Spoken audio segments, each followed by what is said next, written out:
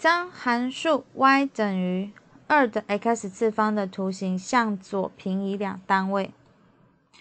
好，那左右的话呢，就是跟 x 有关系，所以我们的函数原本是 y 等于二的 x 次方嘛？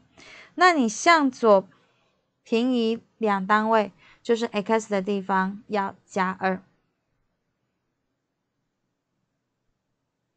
再来向下，向下平移三个单位，向下就是在 y 的部分。好，那向下呢就是减的，所以就是整个数去减三。